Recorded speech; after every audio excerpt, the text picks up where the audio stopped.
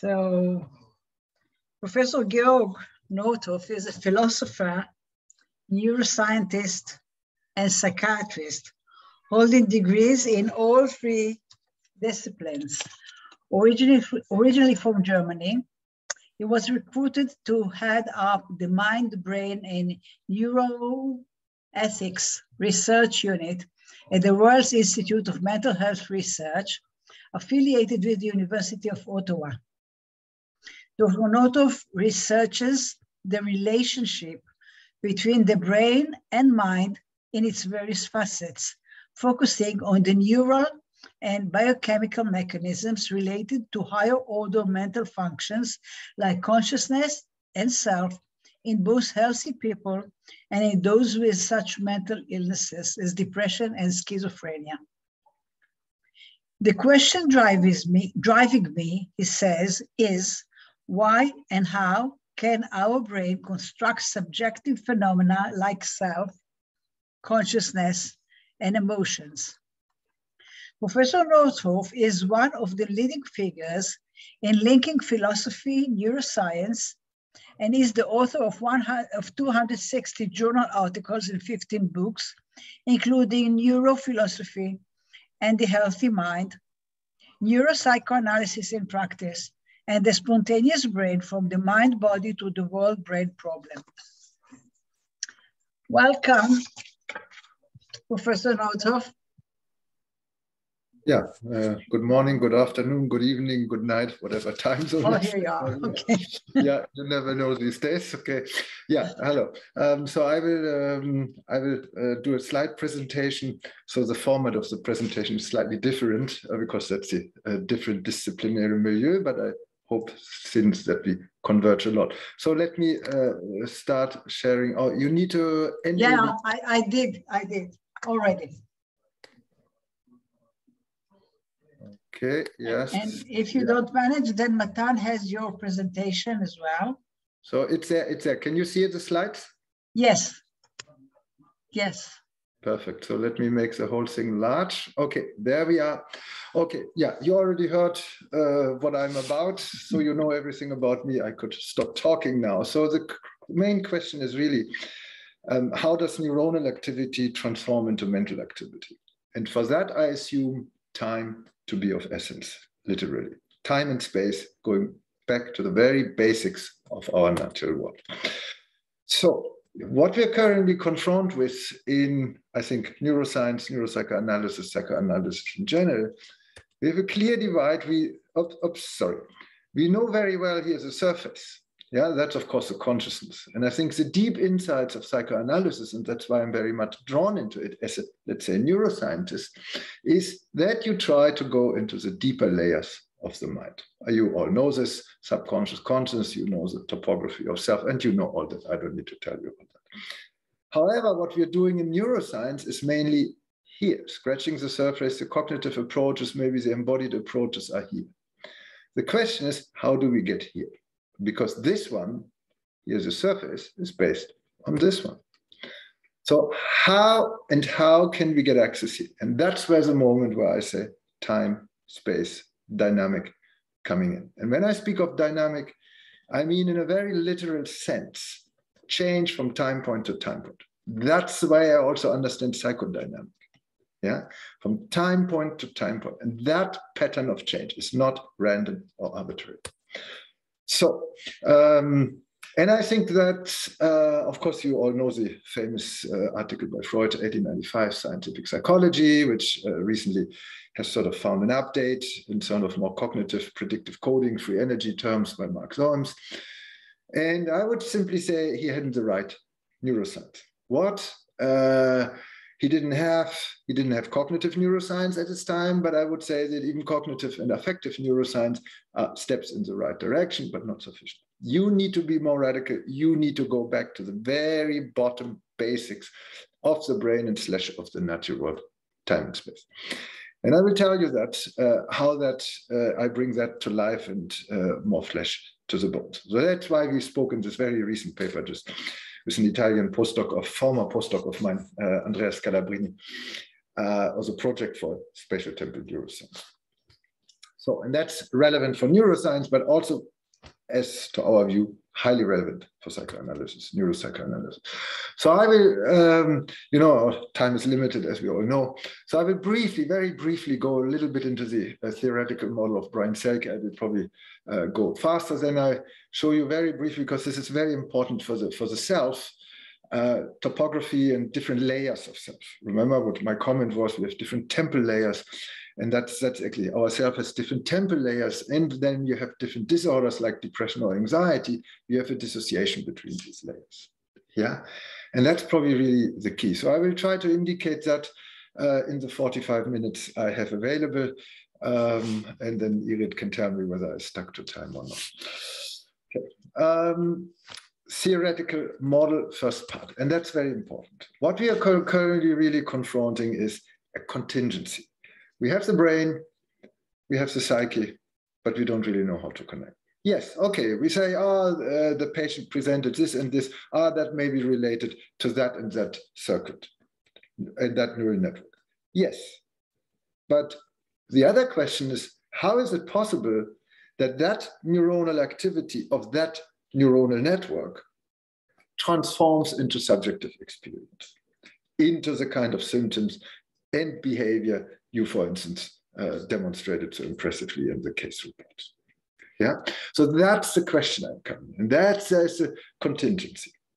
Yeah, so there is no link, no glue where we say, ah, that provides the connection.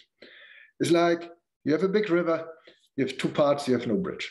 You have no idea how to come to the other side. And I think that's still, despite our progress, which is unbelievable compared to 20, 30 years ago, we still don't have an idea of that contingent. So that's why we speak of a gap of contingency. And for the philosophers of your course, this is basically the hard problem version of that. So now I say that is in part due to a methodological mismatch. And I think one of the beauties of psychoanalysis, psychodynamics, is that you really consider the psyche in terms of dynamic and topographic terms. So it's not just one single isolated time point. You consider that single isolated time point in the context of all other time points. That's dynamic interchanges. And you saw that in the case. It's disrupted the link between time points. And you consider it in topographical terms, meaning you consider it in relative relation to each other, different layers. That's for me topography. And I think Freud and others are beautiful examples of a mental topography or a mental dynamic. So now the question you want to have in the brain, how do you want to link that to the brain? Currently, what we do is this.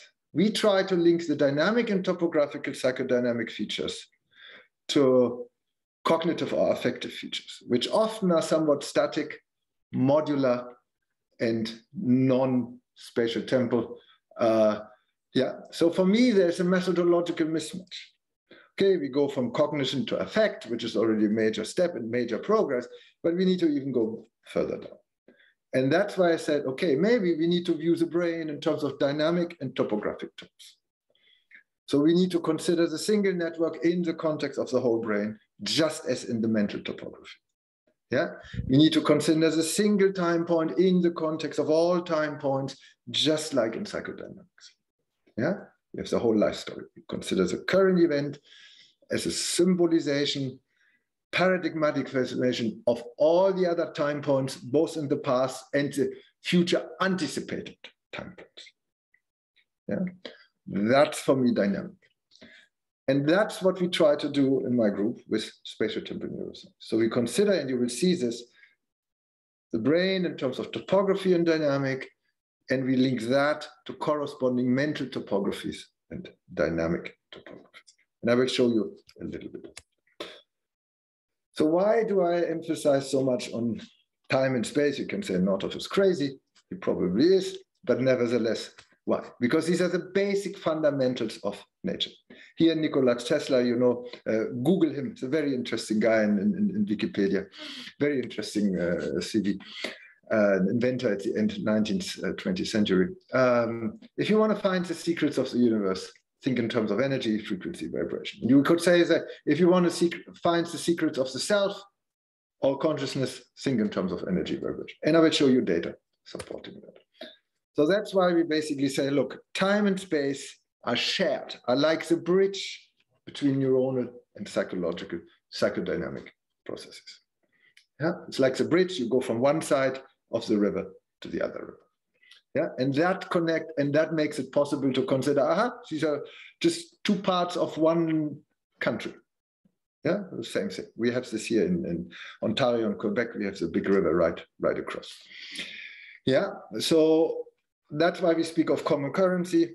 And that common currency, I will show you now how neuronal topography translates into mental topography, uh, neuronal dynamic translates into mental dynamic.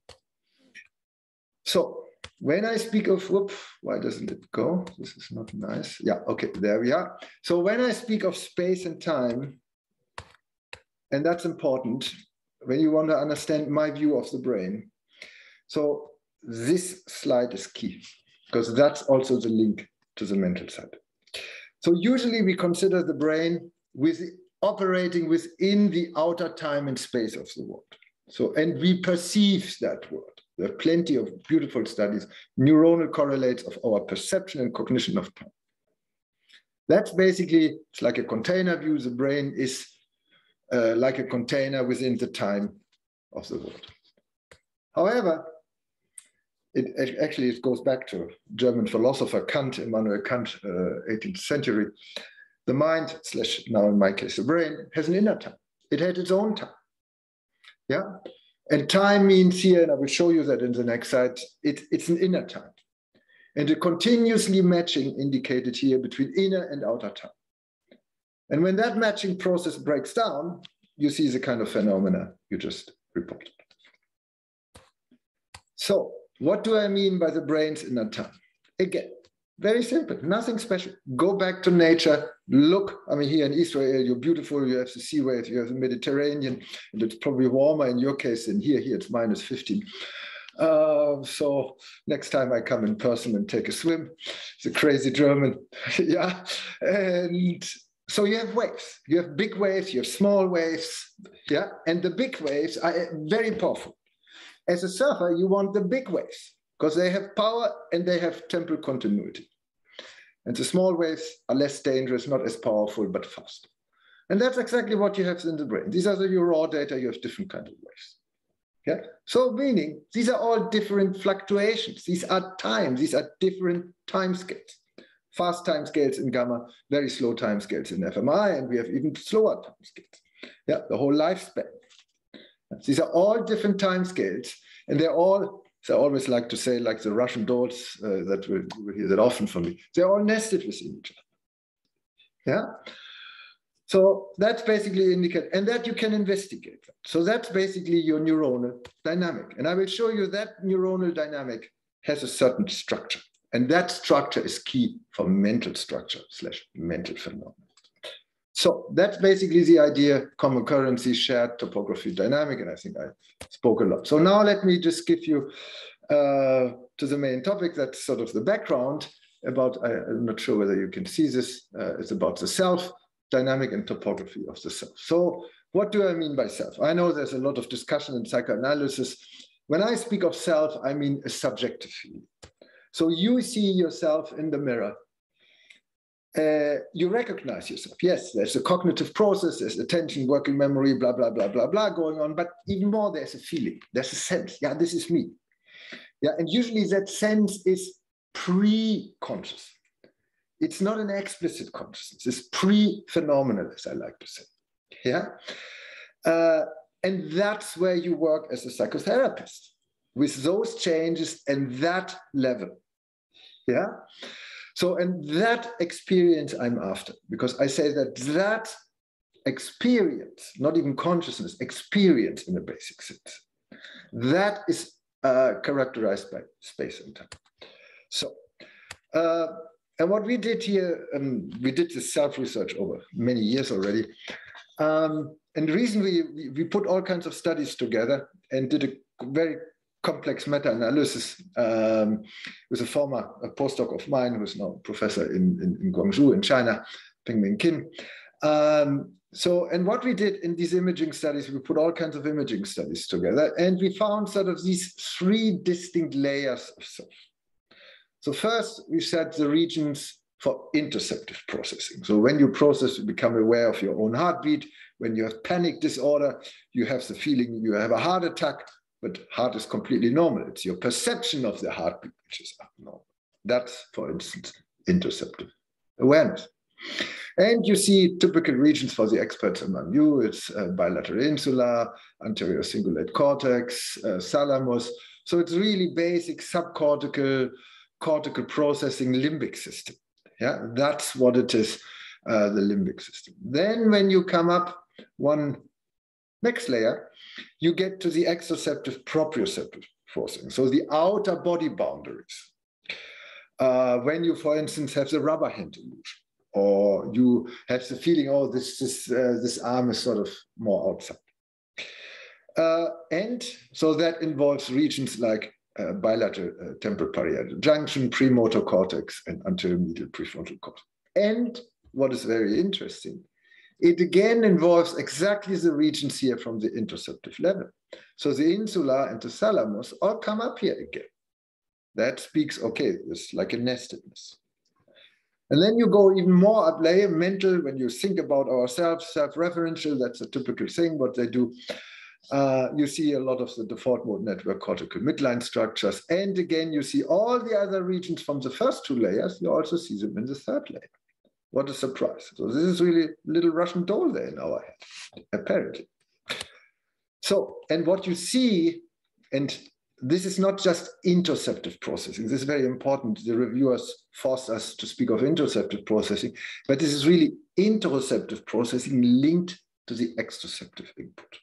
Why is that important conceptually? Because that means that places yourself, your inner self, your inner bodily self, right in the ecological context of your environment. Intro-exoceptive, sort of a virtual intro-exoceptive link there, integration. That's very important, uh, particular for psychoanalysis. Yeah, and then you have exoceptive proprioceptive processing, the outer uh, body boundaries relative to the outer world. And then you have the mental self-process. And what you can see here, what we indicated here, I think this is uh, quite nice, uh, you see the nestedness. So the insula is recruited here, insula is again recruited here and also nested, uh, uh recruited here. TPJ, temporal parietal junction, anterior medial prefrontal cortex, premotor cortex are also recruited here, plus additional region. So this is really like the Russian dolls. Yeah, and that had huge implication, meaning the information from here is somewhat latently present here but it's put into a different context.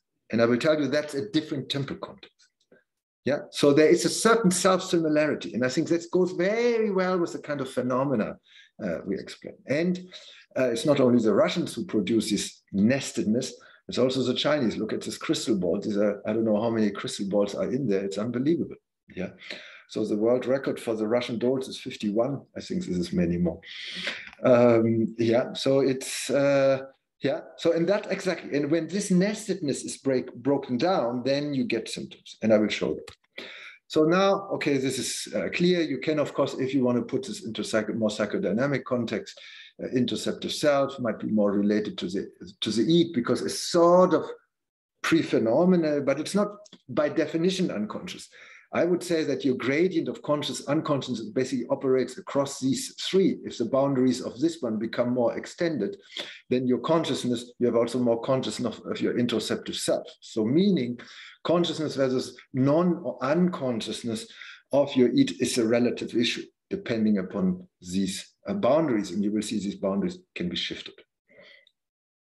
And so that, of course, but I leave that to you. I leave that uh, for the discussion whether you want to have these three layers of the associated with the three uh, with the topography of Freud. Um, how about the dynamic of the cells? So here, I already showed that to you, the time series raw data from the uh, brain. You see here the uh, uh, different waves.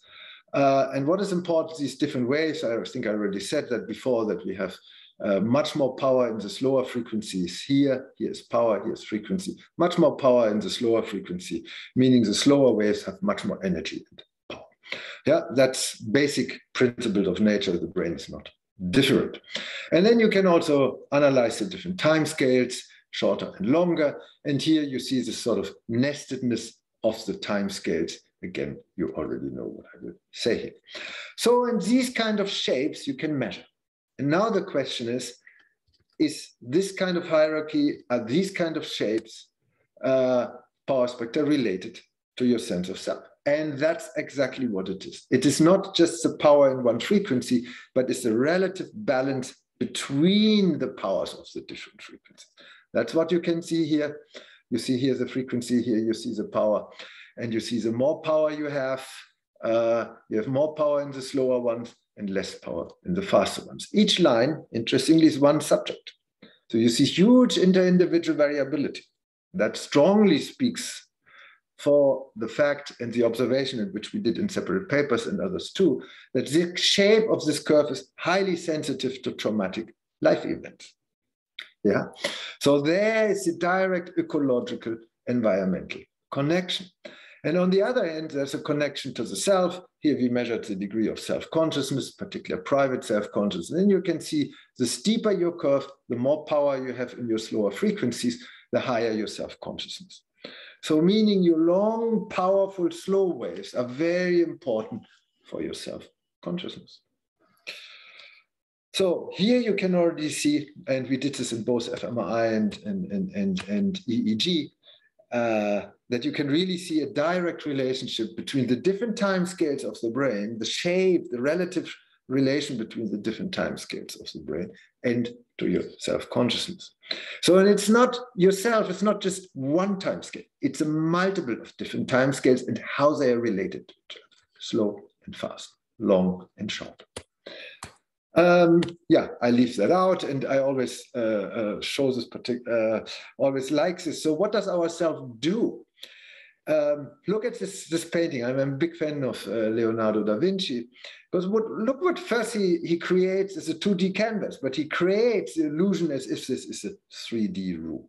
Yeah, you see the depth of the room literally. Of course, you know all this. This is the Last Supper uh, in Milano. Um, and you see the depth of the room. He creates the illusion of a 3D room. Yeah, it's unbelievable how they do this, this Renaissance painting. And then also, particularly important, you have the feeling this is just a snapshot. If you were looking a millisecond later, these guys, the apostles obviously, uh, that they would take on a different gesture. Yeah, so he creates a virtual dynamic. That's what yourself is about. It's a virtual dynamic, it's a virtual 3D topography. That's why I always present this picture.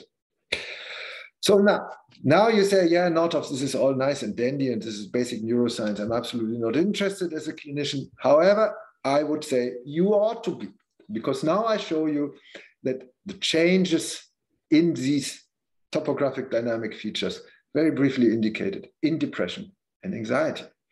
And I would say that has huge implications, as Rosa indicated, for psychotherapies, because ultimately you want to work with spatial temporal features in your psychotherapy. Okay, you all know this uh, depression. I don't need to tell you. You have these ruminating thoughts, circulating repetitive thoughts associated with negative emotions, and you just cannot get out of this circular thought. So, and usually these thoughts, as you all know, they're very much focused on the own self with negative emotions. Am I guilty? I'm wrong. I did this wrong. I'm a failure. And but it's all about the own so complete social withdrawal, disconnect. In particular, they don't feel the environment. They lose this tacit, implicit, pre-phenomenal, whatever you want to say, feeling of their relationship to others and the environment. But you know all this, so that's why we speak of, sorry, increased self-focus, decreased thought focus. So here I show you uh, uh, one example, for instance, for the three layers of self. So what do we show? You see that in the, uh, you remember that the mental self was the uh, default mode network. So this is a study by uh, Andrea Scalabrini, as I said, uh, former postdoc of mine who's now in, in Milano Bergamo. And we continue working together. And he's also psychoanalyst and neuroscientist. So he showed that in the acute depressed state, you really have abnormal concentration of all activity in your default mode network. Yeah, so your brain's global activity is just everything is focused on the default mode network. Yeah, and that's what you can see here. It's basically too much for the expert among you. This is a global signal correlation. And I think I always like to show this. So this is, of course, you all know what this is, this is climate, uh, climate change. And you see it's basically one basic uh, climate change, let's say the ozone layer, but it has different manifestations in different parts of the world. So same here, that in the case of the global brain activity, it has different degrees in different regions of the brain. And what you see in, in depression, that you see a too strong manifestation of this global brain activity in the DMN. So all the resources are shifted towards the DMN. And as we all know, nothing comes for free. Meaning, if you shift everything towards the DMN, then it is shifted away somewhere else. And that's your sensory regions. And that's the sensory regions which you need to connect to your external environmental world. Yeah, and we have a whole line of studies where we investigate the occipital cortex visual perception, that these patients are too slow in their visual perception. And then, of course, if you have the feeling that everything is too fast, of course you withdraw. It's very normal, completely normal reaction. Yeah. So here in this figure, what he also showed is quite nice uh, that really the, the DMN is too strongly correlated with the non-DMN, with the periphery regions, with the sensory region. So what does that mean? So all your incoming sensory inputs you perceive in terms of yourself. And that's exactly what you see in depression. Yeah. Everything is focused on the self. Yeah. And Andrea Scalabrini, I always like that. He speaks of the DMN like a magnet. Yeah. The, it's too strong in depression. Yeah? So uh, here I show you also some uh, temple stuff uh, that the people are simply too slow. Uh, you can see this uh, here it's called median frequency. They're too slow, they have too much power in the slower frequencies and not enough in the faster. Particular where? In occipital cortex. Why? Because then if your occipital cortex is too slow, you cannot follow the fast movement of my hand. And then you wonder, why does Northoff speak with the hand? He tried to embellish his meaning, but I don't get the link between his hand movement and the meaning. I don't understand Northoff. I withdraw and I'm frustrated. I'm too stupid to follow. Yeah, or maybe it's also due to me because I don't explain things well. Yeah, but that's probably the, what happens when you're too slow. Um, so what does this mean now for the three-layer topography of self? That your mental self is abnormally inflated. It's too strong. And that's, I think, I indicate that, that here, that's the extension of the blue stuff. Whereas your exteroceptive particularly here, your outer body is too small. You feel locked into your body. Yeah, your spatial extent, and uh, and everything is too slow. Yeah, so you see a disbalance, an abnormal increase in mental self, and probably a decrease in the proprioceptors. So here, this is a very interesting thing. Uh, you still say, yeah, not of all nice and good, but I don't believe you that time has an impact on psychological measures. So here we did a purely psychological study. And we looked for trauma. So we applied the childhood traumatic questionnaire, which is a valid established questionnaire for traumatic events in childhood, and ran that in uh, uh, 100 uh, depressed patients and 100 healthy patients. And we also, uh, healthy subjects, and we also included um, the Zimbardo time perspective inventory. This is a questionnaire for past and future events. And you can see the uh, scale results here. So we show here is the BDI, Beck depression, uh, Beck hopelessness scale, BHS, BDI. Of course, the depressed people had much more. Uh, and then you see the CTQ, uh, childhood traumatic questionnaire. And you can see the blue ones are the depressed. You see much more trauma in these patients, which is well known. And you also see the kind of trauma, which by itself is interesting, mainly emotional abuse and emotional neglect. Not so much physical abuse, uh, social neglect, and uh, physical neglect. Yeah, which I think is by itself interesting because that emotional neglect and abuse provides a direct link to the kind of symptoms in depression. Yeah. Uh, then you see here the Zimbardo invites. The Zimbardo, uh, the time perspective has different uh, uh, dimensions, present, past, future, and so on. And of course, no surprise, more past, less future the. So now, but the interesting thing is now, how does the abnormal time perspective stands in relation to this one, to the trauma, and the depression. So here, and you can calculate that with what is called a mediation model. So here the question is, is the time perspective mediating the impact from the trauma on the depressive symptoms? Or are the depressive symptoms mediating the impact of trauma on time perspective? Because this is important. Is time just a cognitive thing, an outflow dependent upon your severity, depression severity, or is it a mediating factor from trauma to depressive? So when you see for the experts, this is a full mediation, this is no mediation at all. Uh, so meaning when you take out the time perspectives, this relationship is no longer significant. And for me, this was very interesting because even on the psychological level, time mediated the impact of trauma on depression. Yeah. So this is very, very important. You can have trauma, but your time perspective is normal. You will not have depressive symptoms. That's what it means. Yeah. So this is very, very important. So meaning psychotherapeutically, you might want to work with this one to improve this. Yeah. And then probably you also get a handle of this. Yeah. And I think much what you do in psychoanalysis is basically temporal therapy. You try to integrate different time scales of your biography and try to integrate and nest them within each other so that you have access to it and can re-experience that integration. So um, here I think I will probably leave that out in, uh, for the sake of time. This is bipolar. Uh, I leave that out and I show you the last example of uh, uh anxiety uh, topography and dynamic of the self and anxiety. Uh, disorders, you all know this, of course, uh, Edvard Munch, uh, uh, you become anxious. So what happens when your uh, slow waves become unstable? You become anxious. And that's what you see. Probably I discussed it a lot. It's a, student of mine in, um, in Italy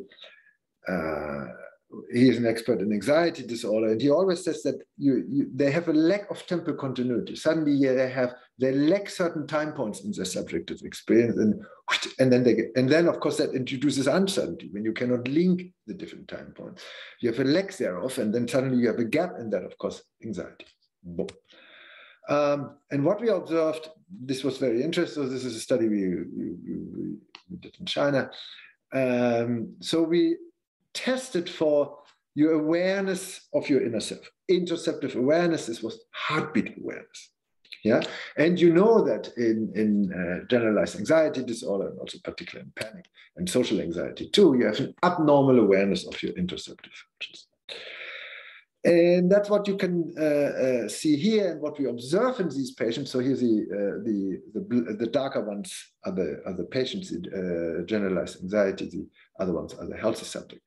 And that you see in response when they have to become a, uh, aware of their own heartbeat, they show abnormal hyperactivity, meaning their interoceptive regions, limbic regions, they react too strongly. And if your neuronal activity reacts too strongly, you perceive it accordingly. And if you perceive it so strong, then you get anxious that you cannot control the whole thing. And I think that exactly is the case. So you can see this here for left and right insula. They show abnormal hyperactivity. And then interestingly, this was also correlated, the uh, insular activity was also correlated with the awareness of your own, this is a, a body perception questionnaire scale, uh, with the awareness of your own uh, body. And of course, uh, the more awareness you are, the more perceive your usually pre or unconscious interoceptive processing. Now you perceive it conscious because the activity is too strong. Yeah. So the gradient of conscious, unconscious, pre-phenomenal, phenomenal can shift depending upon the context in which it acts. Yeah, and then we also show the relationship to the uh, um, uh, default mode network. So that is important uh, for here. Uh, we also go more into details. It's a very recent paper we show that functional connectivity is also desynchronized Yeah, in these patients, you have a desynchronization of your different regions, particularly here of the default mode network. Uh, and that has huge complications because if these regions no longer synchronize with each other, your mental self also becomes unstable. Yeah. Uh, if you cannot synchronize with me through these movements and my talking, you will not understand what I try to convey with these movements. And then you say, what is this not of talking about? Then you become insecure and maybe anxious at some point. Yeah. So this is another uh, meta-analysis of uh, data. You can see clearly that in the default mode, uh, the default mode network is highly desynchronized. Decreased functional connectivity in the resting state, the meta-analysis we just published last year. So you have an unstable mental self. And I think that's very typical. You see this in panic disorder, you see this in GAD and also in social anxiety, particularly social anxiety. The other person comes and you become unstable, you become anxious. Yeah, it's a beautiful example of the key role of the relational component. So, uh, and then this decreased functional connectivity in the resting state leads to abnormal hyper response of these regions when exposed to external stimuli. That's exactly what you see in the symptoms. So, what does this mean for the self? You see that your very slow waves in your default mode network are desynchronized. Yeah. So, meaning your mental self becomes weaker, becomes unstable. And as a compensation, probably you abnormally increase your particular interoceptive awareness and your exteroceptive awareness. Yeah. So increase the other layers. So you have again a disbalance between the different Russian dolls slash self, both topographic and neuronal terms. So basically what you need, so one Russian doll is abnormally small, it can barely be seen, the other ones become relatively bigger, and then of course your mental self becomes anxious because it completely disappears. Yeah? So conclusion. Um, I hope that I indicated my starting point was how does brain activity transform into mental activity? Uh, how can we make a bridge? What do they share? And I said, okay, there's still a gap of contingency. Uh, and um, Freud, as far as I read that paper, he really located his project for psycho scientific psychology up here. Uh, recently, Mark Solms tried to establish a new project for scientific psychology, goes into free energy, predictive coding, it's an excellent paper. Uh, but somehow it still leaves open, how can we close this gap? Yeah. So and that's then the idea okay, we look for topography not only on the mental side, but also on the neuronal side. We look for structure on the uh, mental side. And we might also want to look for structure on the neuronal side. Remember the structure of the power, the, the, the power, fast, slow, the steepness of the curve. We want to look for dynamic on this uh, mental side, and we also want to look for dynamic on the neuronal side. So that's basically the idea of the common currency approach. And I already showed that uh, to you. And what is important that we then, so what we're currently doing is this. We have a gap here. Yeah, we have the brain here, we have the gap, and then we say, okay, this circuit is mapped to this one. But we don't really know how to connect. It's a gap of contingency, as I say. So, and I would say, look, we need to conceive the brain and the mental features in terms of topography and dynamics, space and time brain dynamics. Yeah, so brain dynamics, brain topography are key and then translated into mental topography. And that explains us consciousness, self, and also uh, other that changes, as I indicated, in psychiatric disorders. So basically, I would strongly advocate, and you already guessed that, of course, of course, that I say, okay, we need to link the dynamic and topography of psychoanalysis to the dynamic and topography of the brain and its environmental context. Plus, then also, and this is one of the most exciting lines of research we're currently trying to put, we also try to look for the fluctuations in your subjective experience. So we look for the dynamic of your subjective experience. Yeah, so we have time series of sorts, like the waves. You stand at the ocean and look at the waves, they're continuously changing and you see a certain pattern in there. And that's what we do also with the fluctuations, for instance, in our sense of self or our thoughts. And that's what I say. Uh, maybe we really need a project for spatial temporal neuroscience. I would say that will unravel the different, remember, the different layers, that these are temporal spatial layers. And I think Rosa did a fantastic job in linking, showing these different spatial temporal layers uh, in her talk and also in our book. That's why we really nicely converged. And I do think that it's huge psychotherapeutic implication because you want to have sort of a layer specific uh, psychotherapy. Yeah. So what's that layer relative to the other layer? That's where you have to work on it. I think tacitly you probably do that already to a certain degree. Yeah. So and then basically uh, this is by uh, figure comes from uh, Andrea Scalabrini, this beautiful figure uh, is the end of our recent uh, paper, the project for spatial temporal neuroscience. And basically looks, this is, so we here try to sketch the first time for the spatial temporal therapeutic context. So what do we have? We have different time scales. Yeah, we have different topographic scales, larger uh, spatial scales, more spatially extended, the mental self interoceptive, less spatially extended. Uh, smaller range of time scales, larger range of time. Whoops, sorry, it's too early. Larger range of time scales. So here you have a lot of slow, continuous time scale. Here it's very fast, boom, boom, boom. Yeah. So, and that's important. And the degree to which these different time scales are integrated, that probably suggests how you experience your mental, uh, bodily, and inner body interoceptive. However, these time scales do not operate in a vacuum. They operate in an environmental context, and in the psychotherapeutic context, it is a context between uh, the patient and the therapist. So what do you do?